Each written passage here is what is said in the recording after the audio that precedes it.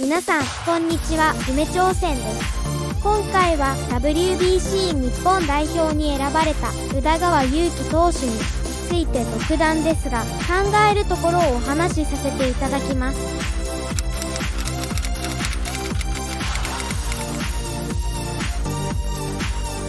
WBC に選ばれた選手の中で年俸が一番安いのが宇田川投手です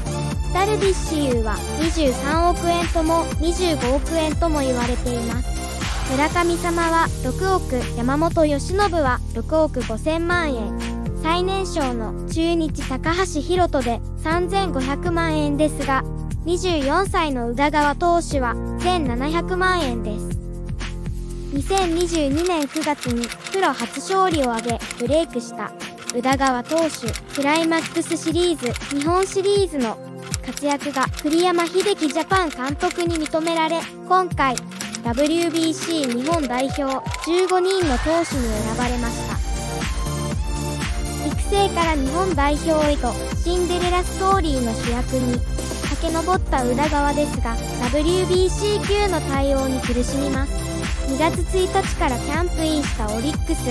山本由伸宮城とともに4日続けてブルペン入り。しましたがストレートが走らないどころかキャッチボールもまともにできず滑る WBC 級に苦労します。2月18日の侍ジャパン宮崎強化合宿の2日目。ダルビッシュが初めてブルペン入りをしました。佐々木朗希や山本由伸ら若手投手陣もずらりとキャッチャー替えの後ろに集まりましたがそこに宇田川の姿はありませんでした。実はこの時間宇田川は減量トレーニングに力を入れていたのです。滑るボールに対しても朝ハンドクリームでケアをしたり飲食物にも気を使う宇田川には頑張ってほしいものです。中島監督から雷を落とされ減量指令。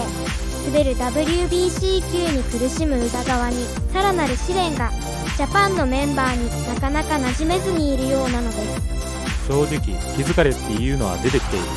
みんな優しいんですけど自分からいけるタイプではないので。また WBC を辞退しろ。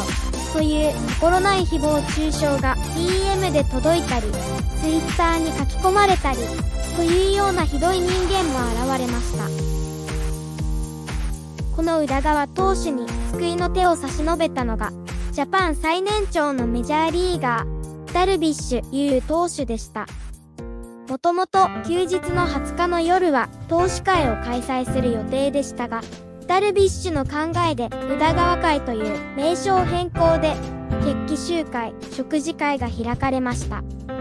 1年前は育成でそこからいきなり侍ジャパン。ここでも減量。それはあまりにも一人の人間が背負うには大きすぎるそれは嫌だったので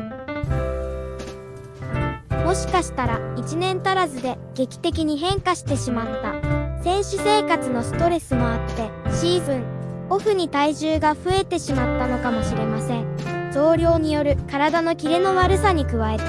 扱いにくい WBC 級各チームのエース級投手や看板ピッチャーを押しのけて選ばれた WBC 日本代表の座。しょぼいピッチングはできないという。相当なプレッシャーも感じることでしょう。でも侍ジャパンに選出されたこと自体がすごいことで誰もがこういう体験ができるわけではありません。活躍できなくてもそこにいるだけでも十分大きな大きすぎる財産になります。終わってみれば全てが素晴らしい体験だった。ということになってほしいものです。自信を持って腕を思いっきり振ってください。WBC1 次ラウンド初戦は3月9日中国戦です皆さんはダルビッシュ投手の神的な上司対応に宇田川投手の今後にどういう感想を持ちましたか？コメント欄にてご意見ご感想をお待ちしていますご視聴いただきありがとうございました。よろしければコメント、高評価、チャンネル登録をお願いいたします。最後に2月21日の実戦形式の打撃練習でヒット性の当たりこそなかったものの23球中14球がボール球でした。まだまだこれからという感じですね。WBC の宇田川投手、今季の宇田川投手に期待しましょう。